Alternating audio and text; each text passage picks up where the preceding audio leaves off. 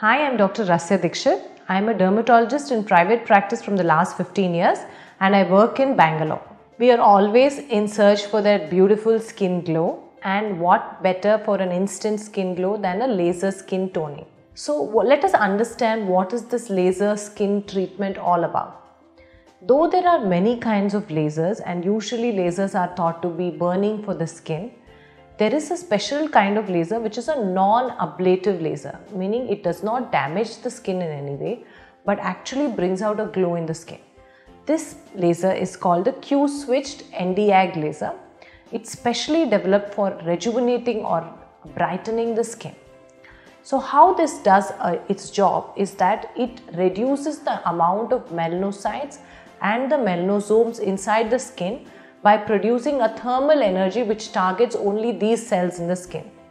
During the treatment, the face is cleansed and layer of carbon is applied over the face. This carbon helps the skin doctor to identify which of the areas of the skin have been treated and which have not. Then the laser is applied on top of the skin and during the application of the laser the carbon particles get activated and then the laser removes the carbon particles during the treatment.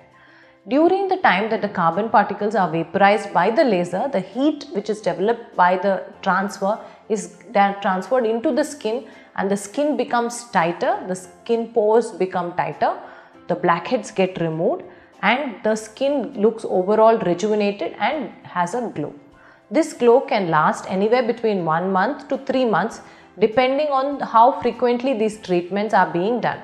Usually treatments are recommended once every month for a treatment interval of at least 4 treatments after which you can come for a maintenance every 3 months once.